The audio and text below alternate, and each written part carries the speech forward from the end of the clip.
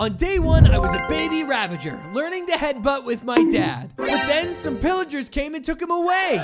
You're much too small to fight the villagers with us. On days 2 through 10, I survived by sneaking food from a village. Then on day 11, I spotted a pillager raiding party, and my dad was with them. But they were across the river, so he didn't hear me. On days 12 through 49, I trained and grew larger. My plan was to save my father. On day 50, I heard about a raid happening nearby, so I rushed over to the village. But I was too late. My father had been wounded badly, and I swore to him I would get my revenge. On days 51 through 99, I tracked the pillager who had used my father for war. And on day 100, I found him. Do you remember me? Ah, yes, you're that baby from before. Come on then, fight me. I charged at him, and we both fell off the side of a cliff. Thankfully, I water bucket clutched.